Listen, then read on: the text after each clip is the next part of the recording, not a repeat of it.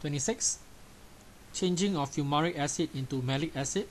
Well the main difference is the malic acid has a H and an OH an extra H and OH which means we actually have to add uh, H2O across the double bonds. So that will require us to use steam with sulfuric acid conditions for hydration.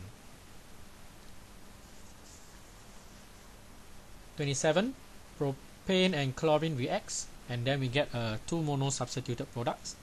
What information is true? First of all this is a free radical substitution so we will require a homolytic bond fission of your chlorine atoms to get two radicals. So homolytic. The ratio is in which they are obtained. Propane has 8 carb 8 hydrogen altogether if we were to replace this any of these 6 hydrogen we will get our 1 chloropropane if we were to replace any of these 2 hydrogen we will get our 2 chloropropane so we have 6 possibilities for 1 chloropropane and 2 for 2 chloropropane it's all about probability. So ratio will be 3 is to 1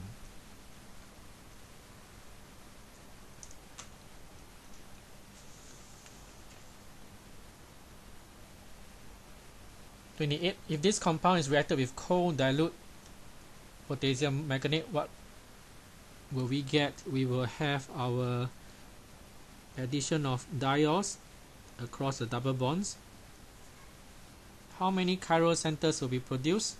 So if you look from left to right you have one chiral center here and we have two chiral centers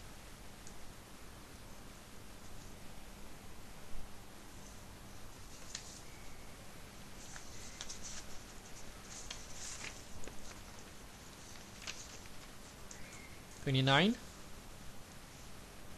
What statement is not correct? It will cause hot dichromate to change from orange to green. Well this one hydroxy group can be oxidized so your dichromate will be reduced. So this is correct.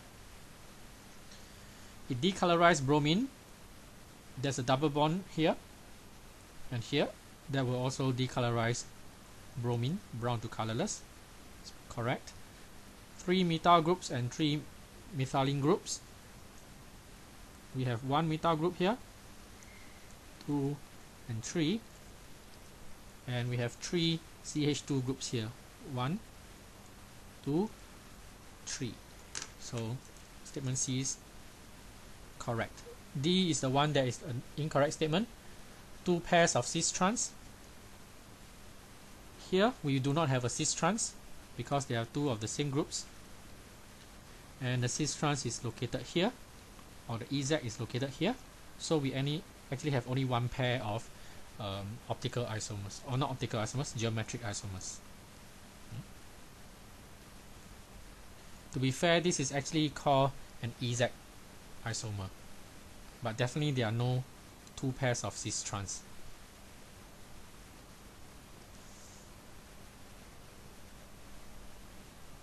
which pair will give us the ester? We have this acid group which is three carbons and the alcohol group will be one carbon. Okay I draw the structure here. Maybe it's easier to see. This is the acid. This is alcohol. So we need methanol and three carbon acid propanoic acid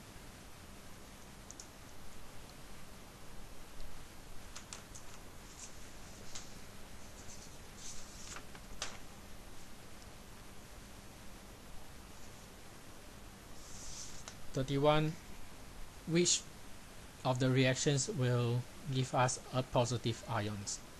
First ionization energy removal of one electron. We will get a positive ion. Heterolytic fission. Heterolytic means the two electrons in the covalent bonds both of them go to the a particular atom. So if these two go to B B will be negatively charged a will be positively charged. So we have a positive ions here. Atomization changing of your substance to gaseous form free atoms we might not necessarily have positive ions. So 1 and 2 are correct.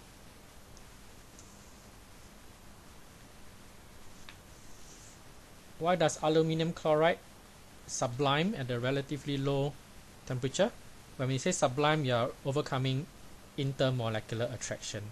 So we have Al2Cl6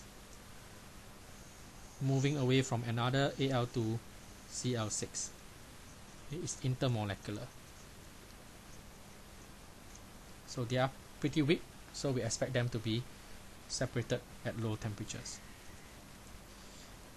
Coordinate bonds and covalent bonds are talking about here covalent bonds are weak well this will mean that they will dissociate easily meaning if the statement says why does it go from Al2Cl6 to two separate molecules of AlCl3 then maybe the next two statements are true okay? but we are not talking about breaking up the molecule we are separating one molecule from the other so these two are not relevant here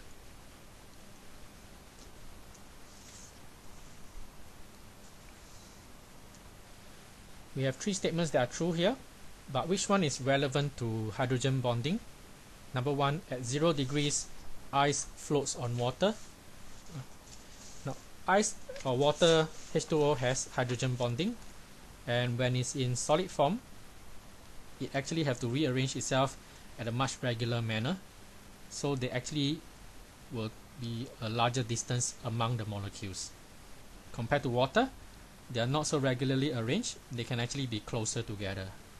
So ice will have a higher dens uh, lower density because they are more spaced apart. Water is higher density.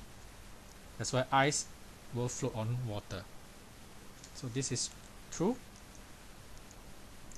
Propanol higher boiling point than propanone because propanol H is directly joined to the O. It has hydrogen bonding whereas propanone only has permanent dipole permanent dipole intermolecular attraction which is weaker. Propanone and propanal propanone as mentioned is permanent dipole. Propanal again there's no hydrogen joined directly to the O is also permanent dipole. So they mix completely because they have permanent dipole interactions not because of hydrogen bonding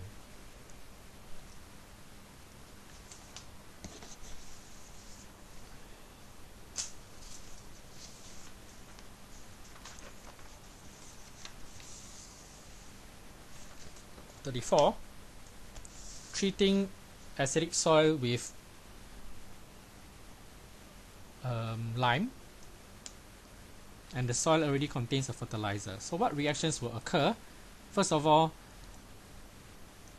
the ammonium nitrate and the lime is actually ammonium salt and a base. So we get salt, water and ammonia gas reaction. Okay, so this is a first reaction that may happen. Second, adding of the lime on acidic soil you will do you will encounter neutralization. So lime and acidic uh, H plus you get salt and water. This raises the pH by removing the acid. That will also happen. And under normal conditions where there's carbon dioxide in the air and all that we will expect your lime to react with carbon dioxide in the atmosphere. You will get calcium carbonate and water. That might also happen. So all three statements are correct